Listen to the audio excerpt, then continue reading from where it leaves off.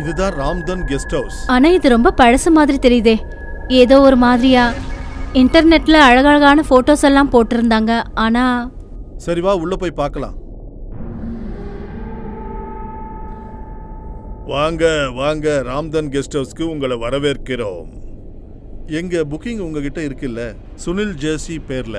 ஆ இருக்கு சார். கண்டிப்பா இருக்கு. ஆனா இது சரியான இடம் தானே? மேடம் நீங்க சொல்றது அது வந்து இன்டர்நெட்ல போட்டோஸ் பார்த்தபோது எல்லாம் ஃபர்ஸ்ட் கிளாஸா இருக்கும் மேடம் நீங்க ஒன்னும் யோசிக்க வேண்டாம். உங்க ரூம் உங்க டின்னர் எல்லாம் ரெடியா இருக்கு. சரி ஓகே ரூம் கொடுங்க. டேய் கோபி சாரையும் மேடத்தையும் ரூம் நம்பர் பதினேழுக்கு கூட்டிட்டு போ.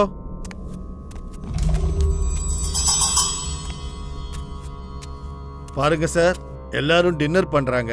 நீங்களும் முதல்ல டின்னர் பண்ணிடுங்க. இல்ல நாங்க கொஞ்சம் ஃப்ரெஷ் ஆயிட்டு வரோம். இல்ல சார் ஒன்பது மணிக்கெல்லாம் இங்க எல்லாமே க்ளோஸ் பண்ணிடுவாங்க. அதுக்கப்புறம் ரூம்ல இருந்து வெளியில யாரும் வரக்கூடாது. ஆ? எதுக்கு? இது இங்க ரூல் சார்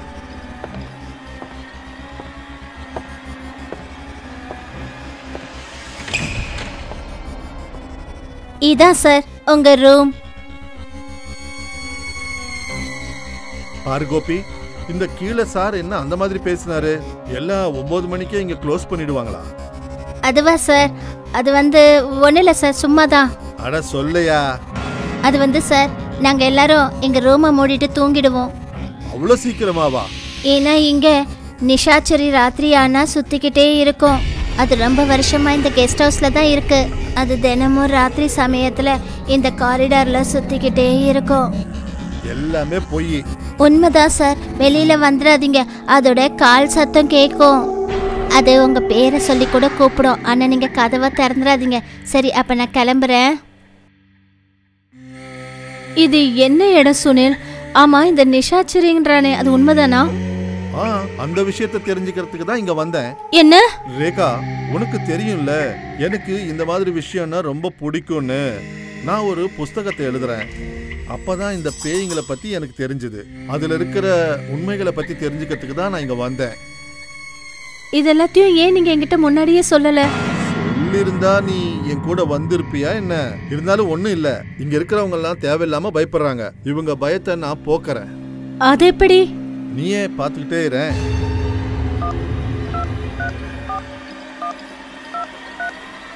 இந்த பேயை பத்தி நம்மளுக்கு சில உண்மைகள் தெரிஞ்சு போயிடும். ரொம்ப வருஷத்துக்கு முன்னாடி இந்த பேய அவளுடைய புருஷன் இங்க வச்சு கொன்னுட்டானா? அவளுடைய பணத்தை இந்த கெஸ்ட் ஹவுஸ்ல தான் எங்கேயோ அவன் ஒளிச்சு வச்சிருக்கானா. அது கிடைக்கவே இல்லை. அதுக்கப்புறம் அவ பேயா மாதிரி சுத்திக்கிட்டு இருக்கா. ஏ அப்பத்துல இருந்து பழி வாங்கலான்ட்டு எந்த ஆம்பளையும் அவ விடமாட்டேன்றாளாம். ஆனா இதுல உண்மை இருக்கா இல்லையான்னு நான் தெரிஞ்சுக்கலான் தான் இந்த இடத்துக்கு வந்தேன்.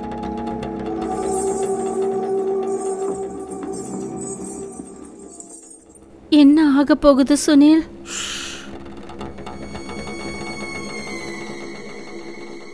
சுனில் யாரோ வெளியில இருக்காங்க. யார் அது சுனில். அது வந்துடுச்சு. உண்மையிலேயே அது பேயா இல்லையான்ற விஷயத்தை இப்ப கண்டுபிடிச்சிருவேன். நீ பைத்தியமா சுனில்? சுனில். என் கிட்ட வரமாட்டியா சுனில்? பாத்தியா நான் எவ்வளவு தனியா இருக்கேன் பாத்தியா?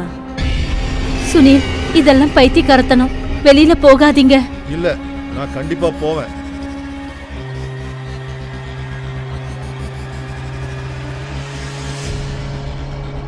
நீ எங்க இருக்க?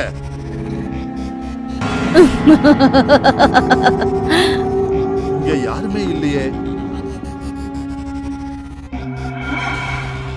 அங்க யாருமே இல்ல. ஒருவேளை வேணுக்குனே யாரோ செய்றாங்க போல இருக்கு. அது எல்லாத்தையும் மறந்துடுங்க. வாங்க போய் தூங்கலாம். பாதி ராத்திரி ஆயிடுச்சு.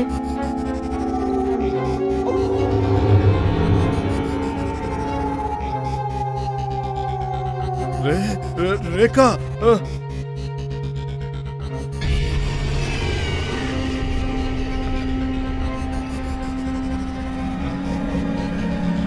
நான் ரேகா இல்ல. நான் நிஷா. நீ என்ன பார்க்க தானே இங்க வந்திருக்க? ரேகா ரேகா எங்க இருக்கு? அவ இங்க தான் இருக்கா. அதுவும் என்கிட்ட. அவளை மறந்துடு. அதான் நான் உன் கூட இருக்கேன்ல. அப்படி நடக்கிறதுக்கு வாய்ப்பே இல்ல. நீ உண்மை இல்ல. அப்படியெல்லாம் சொல்லாத சுனில் இதுதான் உண்மை. நான் உன் கூட தான் இருக்கேன். ஆனா உனக்கு என்ன வேணும்? ரொம்ப வருஷமா நான் இந்த இடத்துல தனியா அலைஞ்சுக்கிட்டு இருக்கேன். என்னை யாரும் பார்க்க மாட்டேங்கிறாங்க. ஆனா நீ ஒருத்தன் தான். என்னை பார்க்கறதுக்காக இங்க வந்திருக்க. ஆனா ஆனா உனக்கு என்னதான் வேணும்? அதுதான் செய்ய போறேன். உன்ன மாதிரி ஒரு ஆம்பளை என்ன என்ன பண்ணானோ அது உன் ரத்தத்தை நான் குடிக்க போறேன்.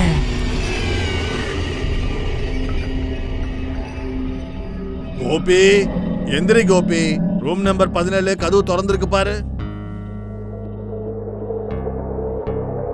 அட கடவுளே இப்ப என்ன பண்றது? சீக்கிரமா போய் தினகர் சாரை கூட்டிட்டு வா.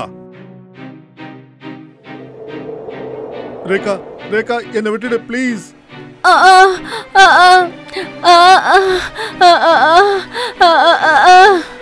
இல்ல ரேகா உனக்கு என்ன நடக்குது? யாரு? நீங்கெல்லாம் யாரு? தள்ளுங்க சார். உங்களுக்கு ஒன்பது மணிக்கு மேல கதவை திறக்க வேணாம்னு நான் சொல்லியிருந்தேன்ல. ஆனா இப்ப என்ன நடக்குது? இன்னுமா புரியல உங்களுக்கு. உங்க மனைவி உடம்புக்குள்ள அந்த பேய் புகுந்திருக்கு. அத முதல்ல இங்க இருந்து வெளியில அனுப்பணும். இல்லன்னா அவங்க இறந்துருவாங்க. புரிஞ்சுதா? ஆனா எப்படி இது? கொஞ்சம் இருங்க. நான் ஒரு வாட்டி பார்க்கறேன் ஏய் பேய். எதுக்கு இங்க வந்திருக்க நீ சொல்லு. இந்த இடத்துல நீ இருக்க கூடாது இந்த பொண்ணுக்கு ஒன்னும் தெரியாது. அவங்கள விட்டுடு.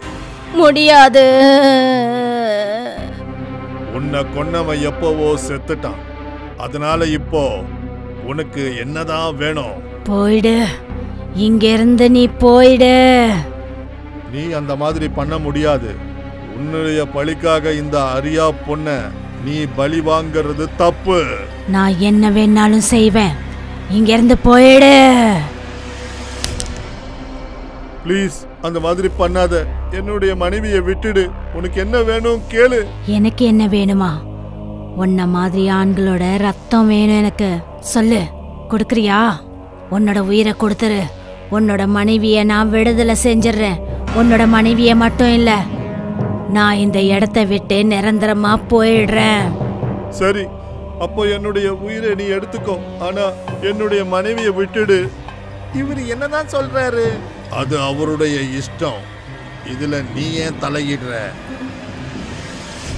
வா என்ன கொன்னுடு. என்னுடைய மனைவியை விட்டுடு. அவளுக்கு இங்க வர்றதே சுத்தமா பிடிக்கல.